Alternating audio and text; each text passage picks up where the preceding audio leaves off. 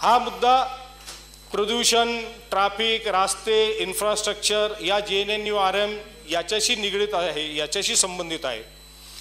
सभापती महोदय ज्या अर्थी डी एम आय सीची नियोजन करण्यात आला J N N U R एमचं नियोजन करण्यात आलं त्याच वेळी महाराष्ट्र राज्यात दोन प्रमुख योजनांची सुरुवात करण्यात आली सभापती महोदय. दोन हजार नऊ दोन हजार दहा साली स्वर्ण महाराष्ट्र स्वर्ण जयंती नगर उत्थान अभियान महाअभियान राबविण्यात आले त्यात मुंबई ठाणे नाशिक पुणे औरंगाबाद अमरावती नागपूर या अभियानाअंतर्गत राज्यातील महापालिका प्रमुख नगरपालिका नगरपंचायतीमध्ये नागरिक दळणवळण साधनांचे विकास रास्ते घनकचरा व्यवस्थापन नागरिक रस्त्यावरील पथदिवे मध्ये ऊर्जा बची बचतीची योजना राबविणे तीर्थक्षेत्रांचा विकास करणे तसेच उद्याने तलाव नैसर्गिक जलस्रोत पाणीपुरवठा मालनिसरण नगर स्वच्छता अशा या सर्व सुविधांचा विकासांची सुरुवात त्या आघाडी सरकारच्या कालावधीमध्ये करण्यात आली सभापती महोदय.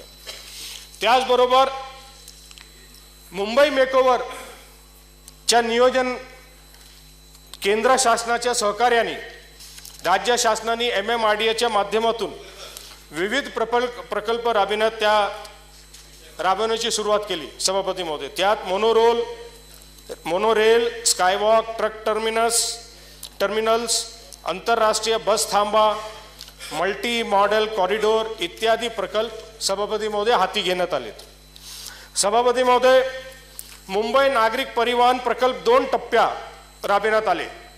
आघाडी शासनाच्या कालावधीत मुंबई नागरिक परिवहन प्रकल्प दोन टप्प्यात राबविण्यात आले. पहिला टप्पा चार हजार पाचशे सव्वीस कोटी रुपयांचा होता.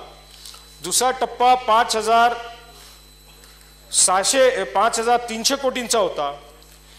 आणि हे दोन्ही टप्पे बहुतांश पूर्ण करण्यात आले. सभापती महोदय याच बरोबर मुंबई मेकअवरच्या कार्यक्रमात अंतर्गत मेट्रो रेल्वे मुंबई इतर महानगरांसाठी नियोजन करण्यात आले. त्याचप्रमाणे मुंबई मेट्रो रेल्वे एकशे पंचेचाळीस पॉईंट सहा किलोमीटर लांबीचा पहिला टप्पा दुसरा दोन हजार तेरा साली पूर्ण झाला पहिला टप्पा पूर्ण झाला दुसरा टप्पा दोन हजार साली सोळा साली पूर्ण हो पूर्ण होणार होता होणार आहे. तिसरा टप्पा दोन हजार एकवीसला पूर्ण होणं अपेक्षित आहे. सभापती महोदय मेट्रो रेलचा पहिला टप्पा वर्सोवा अंधेरी घाटकोपर अकरा पॉईंट झिरो सात किलोमीटर चारकोप वांद्रे मानकुट सदोतीस पॉईंट सत्याऐंशी किलोमीटर कुलाबा वांद्रे एकोणीस पॉईंट पंच्याहत्तर किलोमीटर दुसरा टप्पा चारकोप दहिसर सात पॉईंट पन्नास किलोमीटर घाटकोपर मुलुंड बारा पॉईंट पन्नास किलोमीटर तिसरा टप्पा वांद्रे कुर्ला संकुर्ण कांजूरमार्ग वीस पॉईंट पन्नास किलोमीटर अंधेरी पूर्व ते दहिसर पूर्व अठरा किलोमीटर हुतात्मा चौक ते घाटकोपर एकवीस पॉईंट आठ किलोमीटर शिवडी प्रभादेवी तीन पॉईंट पाच किलोमीटर. त्याचबरोबर सभापती महोदय दहिसर ते विरार रेल्वे सामंतर रस्त्यांचं नियोजनही करण्यात आलं व त्यात लागणारा सी आर झेडची आणि अन्य मान्यता क्लिअरन्सही शासनाकडनं घेऊन एम एम आर डी एच्या माध्यमातून ते बनविण्याचं ठरवण्यात आले. पण सभापती महोदय अद्यापि या शासनाने मागच्याही बजेटमध्ये या बजेटमध्ये या रस्त्याच्या संदर्भात कोणतेही बजेटची प्रोव्हिजन केली नाही किंवा त्याचा उल्लेखही केलेला नाही.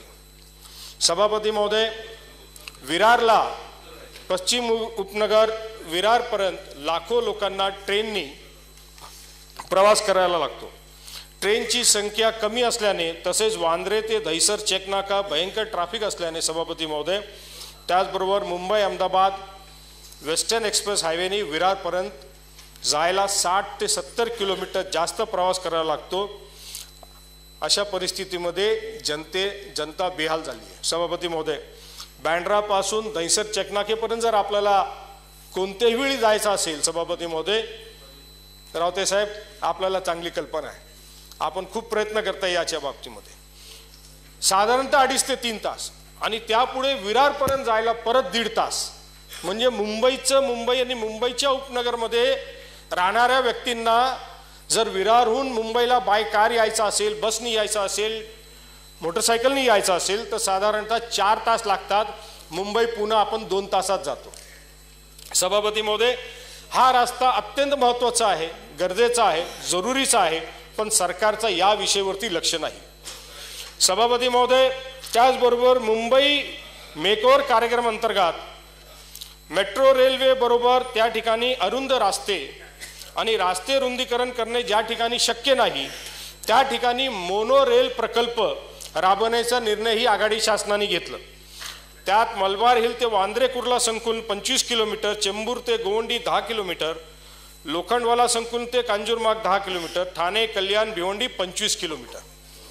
सभापती महोदय या सर्व योजनांसाठी यू पी एच्या केंद्र सरकारने निधी उपलब्ध करून दिली.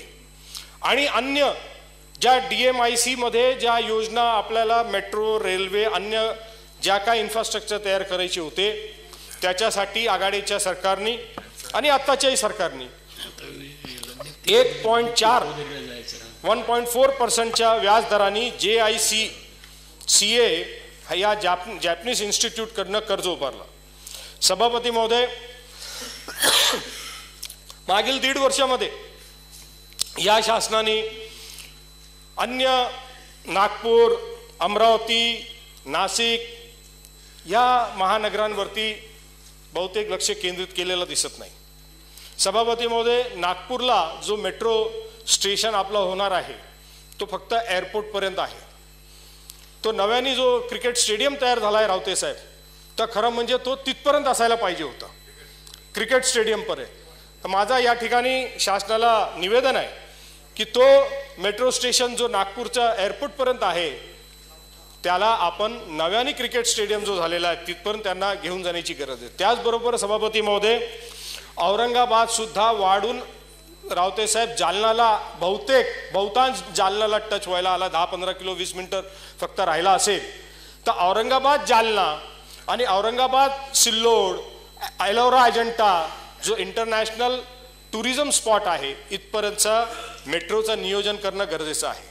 सभापती महोदय Nashik Nashik Devlali Nashik road M I D C Trimbakeshwar हा परिसर सुद्धा साधारणतः वीस ते पंचवीस स्क्वेअर किलोमीटर आजच्या घडीला नाशिक एवढा मोठा शहर झालेला आहे. आणि त्या ठिकाणी सुद्धा ट्रॅफिकची अत्यंत वाईट परिस्थिती आहे.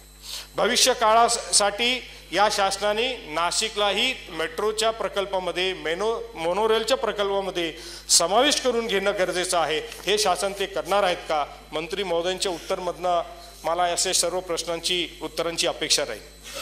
सभापती महोदय या सर्व योजना आघाडीच्या सरकारने केलं यू पी एची सरकारने केलं मग या शासनाने केलं काय? तर फक्त नावांमध्ये बदल केलं टायटल चेंज केलं ब्रँड चेंज केलं आणि नव्याने मार्केटिंग केलं इंग्लिशमध्ये ते मुहावरा म्हणतात old wine in new bottle याच्या व्यतिरिक्त या शासनाने दुसरं काही केलेलं दिसत नाही.